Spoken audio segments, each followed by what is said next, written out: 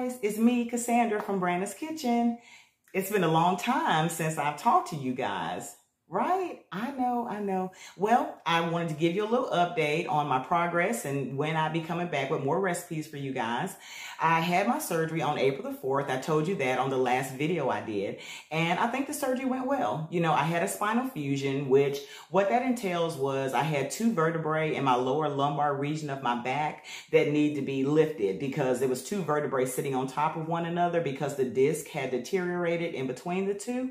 So I had a, a spinal a spinal fusion fusion, which means the doctor went in, he lifted those vertebrae and he put an artificial disc between those to, and held it together with, you know, a couple of little screws and rods to keep it in place.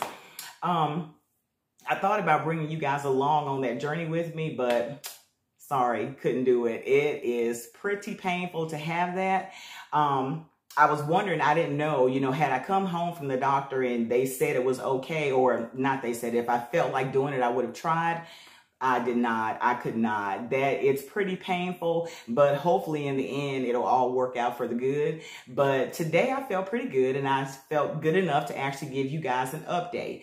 Um, hopefully my first uh, post-op uh, checkup is on the 1st of May. So hopefully after then, if everything goes well and everything is fusing like it's supposed to, maybe I'll be ready to do a video for you after the 1st of May. And I can't wait because I have been thinking of wonderful meals to share with you and I can't wait to show them to you.